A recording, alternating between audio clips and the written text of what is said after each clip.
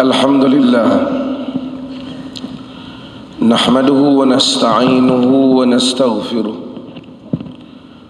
ونعوذ بالله من شرور أنفسنا ومن سيئات أعمالنا من يهده الله فلا مضل له ومن يضلله فلا هادي له أشهد أن لا إله إلا الله وحده لا شريك له وأشهد أن محمدا عبده ورسوله بشيرا ونذيرا بين يدي الساعة بلغ الرسالة وأدى الأمانة ونصح الأمة. وجاهد في الله حق جهاده. اللهم صل وسلم على حبيبنا سيدنا رسول الله. وعلى آله وصحبه ومن تبعه ونصره ووالاه. أما بعد فيا أيها الإخوة المؤمنون أوصيكم ونفسي بتقوى الله. قال الله عز وجل يا أيها الذين آمنوا اتقوا الله حق تقاته. ولا تموتن الا وانتم مسلمون Sidang Jumaat yang dirahmati Allah Antara tanggungjawab yang dititah perintahkan oleh Al-Quran kepada kita ialah untuk melakukan sikap yang adil kepada semua pihak sama ada kepada mereka yang bermusuh dengan kita ataupun mereka yang bersahabat dengan kita. Sama ada kepada mereka yang muslim ataupun kepada mereka yang bukan muslim. Allah memerintahkan ya ayyuhalladzina amanu kunu qawwamina lillah syuhada'a bil qist wa la yajrimannakum shana'anu qaumin ala alla ta'dilu i'dilu huwa aqrabu littaqwa wattaqullah Allah menyatakan wattaqullah innallaha khabirun bima ta'malun Allah menyatakan wahai orang-orang yang beriman kunu qawwamina lillah syuhada'a bil qist jadilah orang-orang yang berdiri menegakkan kebenaran kerana Allah yang menjadi saksi-saksi yang adil. Jangan disebabkan kebencian kamu kepada suatu pihak kepada suatu kaum menyebabkan kamu tidak adil. Adillah kerana ia lebih dekat kepada takwa bertakwalah kepada Allah. Sesungguhnya Allah itu maha mengetahui apa yang sedang kamu lakukan. Mukjizat terbesar Islam Al-Quran. Kehalusan bahasanya inti kandungannya seni balaghahnya pun begitu kita tahu bahawasanya bukan semua manusia ini dapat memahami bahasa Arab untuk memahami mukjizat yang besar ini yaitu Al-Quran seseorang memerlukan kemampuan untuk menghayati keindahan bahasa yang diturunkan oleh Allah yang diterjemahkan di dalam Al-Quran. Manifestasi daripada kebesaran Tuhan yang muncul melalui rima-rima dan alunan bahasa di dalam Al-Quran hanya orang Arab. Dan orang yang memahami Arab bahasa Arab dapat menghayati perkara ini. Bagaimana kaum-kaum yang lain bagaimana manusia yang lain itu dapat memahami keindahan Islam sehingga Islam itu tersebar dengan begitu pantas sebagai satu agama the fastest religion yang berkembang di dalam dunia ini kaum yang tidak dapat memahami bahasa Arab mereka menghayati keindahan Islam melalui keindahan akhlak pendukung-pendukung Quran. Orang Cina tidak dapat memahami Al-Quran pada peringkat awal. Orang-orang di Uzbekistan tidak dapat memahami Al-Quran pada peringkat awal. Orang-orang di India tidak dapat memahami Al-Quran dari peringkat awal tetapi mereka menganut Islam bukan kerana terpegun dengan rima Quran tetapi terpegun dengan akhlak para pendukung Al-Quran mu'jizatul akhlak the miracle of akhlak mu'jizat akhlak yang ditunjukkan oleh pendukung-pendukung para pejuang Islam telah melunturkan kesombongan perasaan manusia menjadikan mereka tunduk kepada Islam sebagai contoh yang masyhur yang kita tahu bagaimana Islam masuk ke Uzbekistan Uzbek ataupun kita sebut sebagai Samarkand.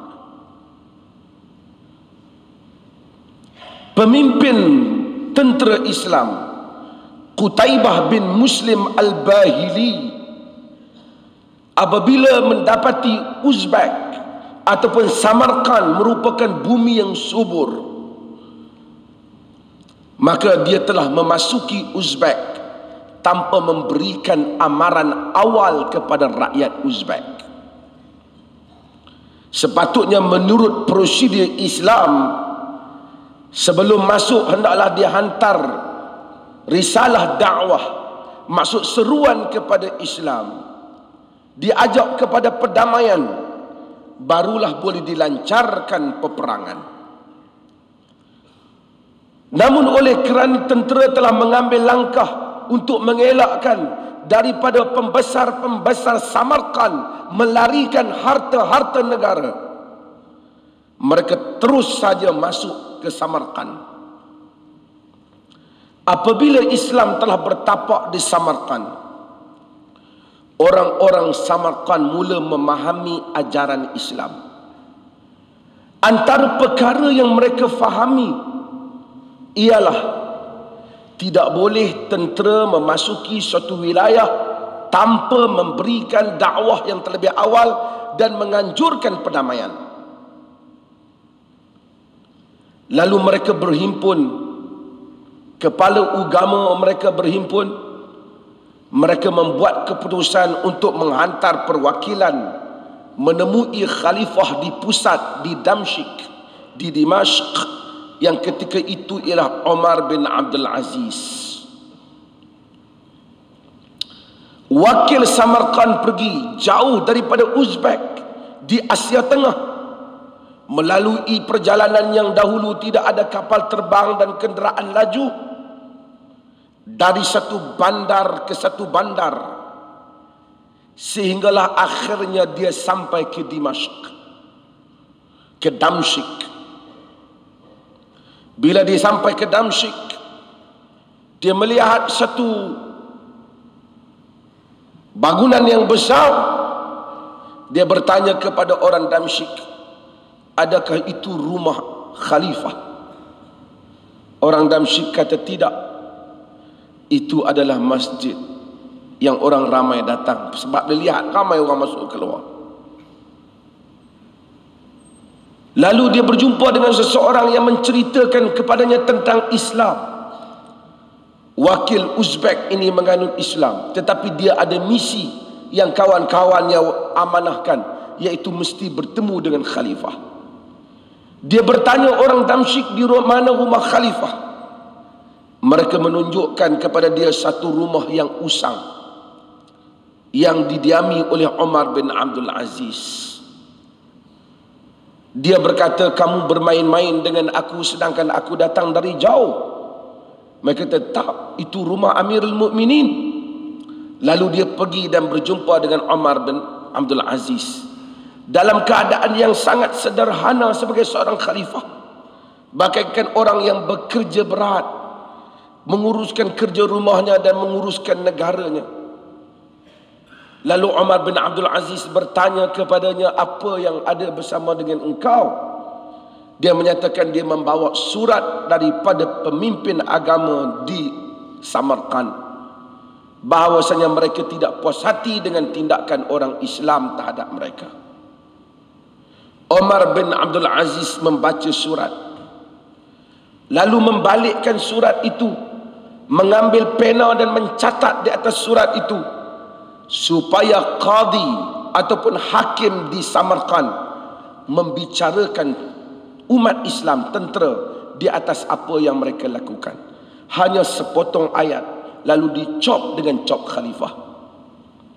Kata wakil Samarkand aku putus asa. Jikalau tidak kerana aku bimbang orang di Samarkand menyatakan aku bohong tidak berjumpa dengan khalifah nescaya aku mengambil surat ini aku buang kerana apa nak dilakukan dengan puluhan ribu tentera bersama dengan sekeping surat yang hanya dicatat di atas surat yang lama. Tetapi dia bawa balik surat sehingga ke Samarkand. Dan kemudian menyerahkan surat kepada kawan-kawannya yang masih belum Islam. Yang membantah tentera Islam. Mereka pun lihat dan begitu kecewa dengan surat khalifah yang begitu ringkas. Cuma mereka ambil surat berkenaan oleh kerana ada catatan kepada qadi ataupun kepada hakim Samarkand supaya membicarakan kes.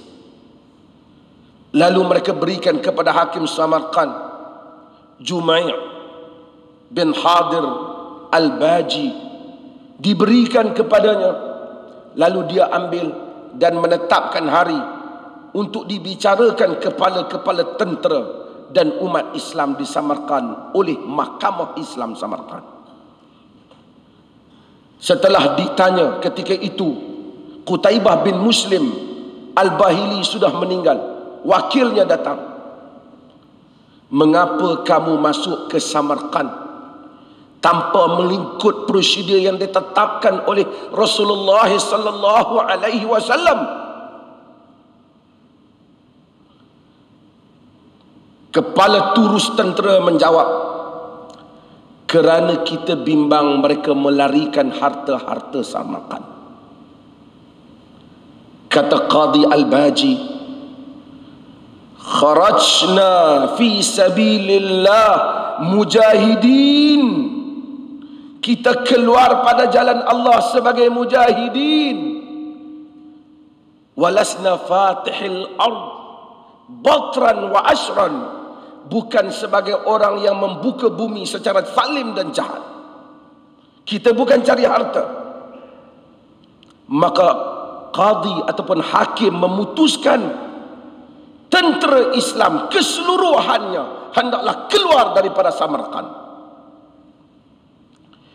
belum menjelang malam keseluruhan tentera Islam keluar daripada Samarkand. Penduduk Samarkand terpinga-pinga bagaimana tentera yang berpuluh ribu yang sudah menempatkan kekuatannya yang sudah memerintah negeri boleh keluar dengan hanya sepotong surat Amirul Mukminin yang meminta kes ini dibicarakan dengan adil maka mereka keluar dari Samarkand. Dan mereka buat prosedur semula menghantar dakwah meminta kepada mereka perdamaian. Dan apabila tidak ada jawapan sekali lagi tentera Islam masuk ke Samarkand. Ketika itu penduduk Samarkand bukan keluar membayar jizyah tetapi keluar untuk mengucapkan asyhadu alla ilaha illallah wa asyhadu anna muhammadar rasulullah Inilah Islam dengan keindahannya di dalam sejarah. Inilah Islam yang telah merealisasikan mukjizat akhlak. Mu'jizat keadilan Islam yang melunakkan hati mereka yang bukan Islam sehingga menerima Islam. Kesantunan inilah yang diajar oleh Nabi sallallahu alaihi wasallam yang zahir di dalam tradisi Islam. Sehingga Islam mengajar memberi derma kepada memberikan sedekah kepada yang bukan Islam itu juga mendapat pahala. Pada peringkat awal sebahagian orang Islam merasa berat hati untuk bersedekah kepada bukan Islam. Quran turun kepada mereka. Laisa 'alaika hudahum. Walakin Allah yahdi man yasha. Wa ma tunfiqu min khairin fali anfusikum. Wa ma tunfiquna illa ibtigha'a wajhillah. Wa ma tunfiqu min khairin yuwaffa ilaikum wa antum la tuzlamun. Bukan kerja kamu memberikan petunjuk kepada mereka. Allah memberikan petunjuk kepada sesiapa yang dikehendaki apa yang kamu belanjakan daripada kebaikan pahalanya balik kepada diri kamu. Kamu tidak belanjakannya melainkan mengharapkan keredaan Allah. Apa yang kamu belanjakan daripada kebaikan akan dibalas kepada kamu kebaikan itu dan kamu tidak akan dizalimi. Hari ini orang Islam sibuk. Kalau ada kalau ada pihak Kristian ataupun pihak bukan Islam yang lain yang menderma untuk orang Islam. Kononnya ini adalah rancangan kristianisasi. Persoalannya, mengapa kita orang Islam tidak menderma pada orang lain sehingga mereka lunak kepada kita? Kita ada zakat yang banyak. Bilion zakat dalam negara ini. Kita ada banyak pertubuhan-pertubuhan. Lebih daripada 50 tahun kemerdekaan. Masih lagi kesansian, kesansian dan prajudisnan Muslim kepada kita. Daripada masalah besar kepada masalah kecil. Mereka gagal untuk memahami Islam. Memang ada yang sengaja gagal. Tetapi ramai yang benar-benar kita gagal sampaikan Islam kepada mereka. Gagal untuk kita lakukan iqamatul hujjah. Penegakan hujjah. Bagi menerangkan hakikat Islam yang sebenar. Sehingga dalam masalah menghormati jenazah bukan Muslim. Kita pun heran. Saya kita menyebut bahawasanya Nabi SAW menunjukkan contoh yang baik. Apabila lalunya jenazah bukan Muslim Yahudi Baginda bangun Baginda ya Baginda tidak tunduk Baginda tidak diam Baginda hanya bangun. Baginda bangun. Dalam hadis Bukhari dan Muslim Mereka sebut kepada Nabi sallallahu alaihi wasallam innahu yahudi. Dia adalah yahudi. Nabi kata alaisat nafsan. Tidakkah dia juga adalah nyawa? Penghormatan bukan masalah agama tapi masalah keinsanan. Humanity, ke masalah kemanusiaan yang perlu diberikan mandat kemanusiaan.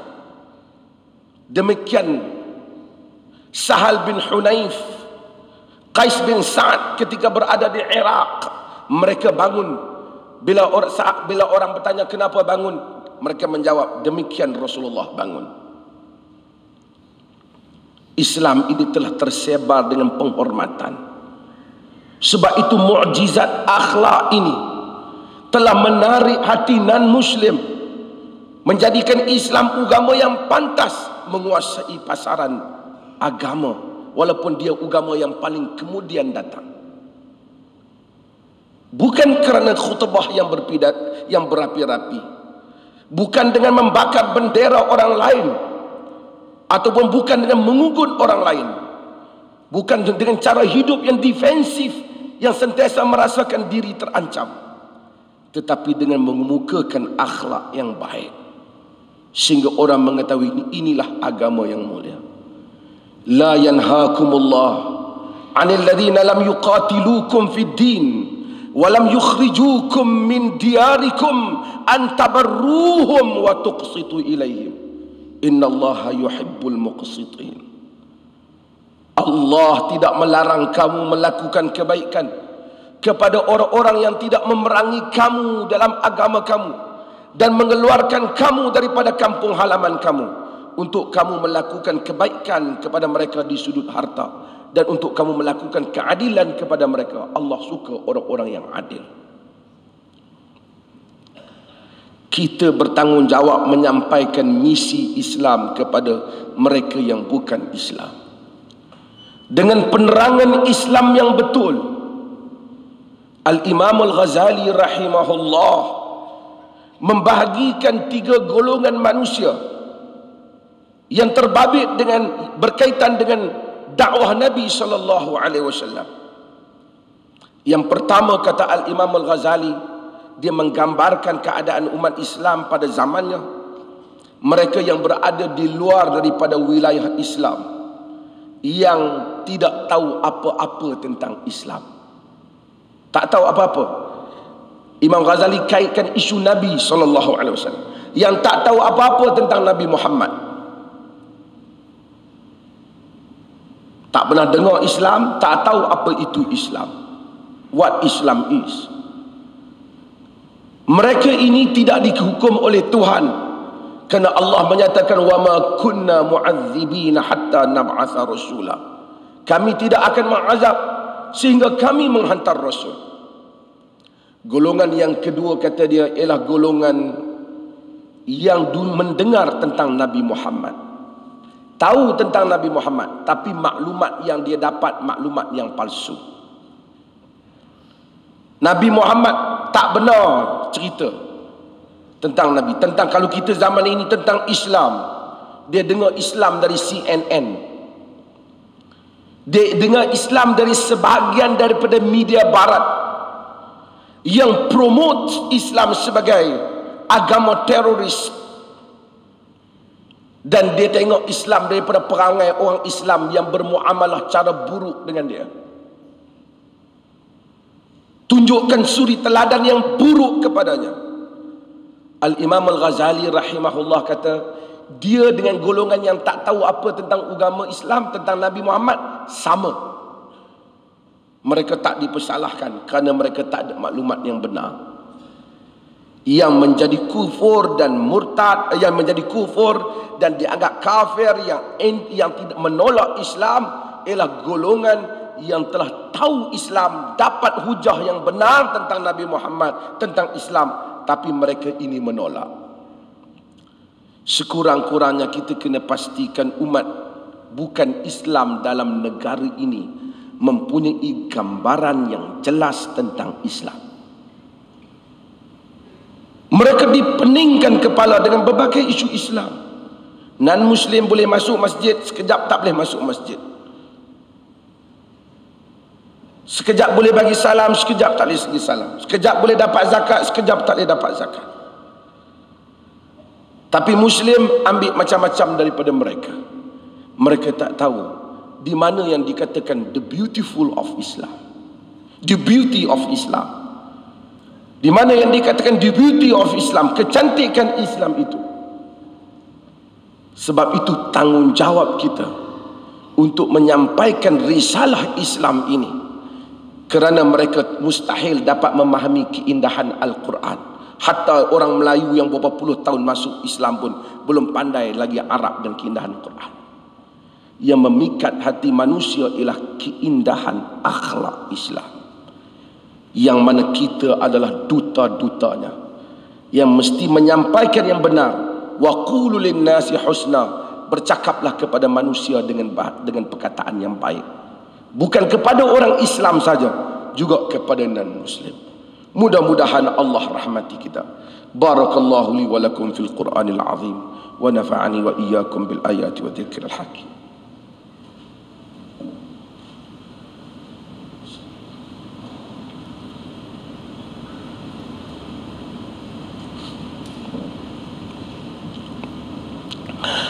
الحمد لله الحمد لله الذي أرسل رسوله بالهدى ودين الحق ليظهره على الدين كله ولو كره الكافرون.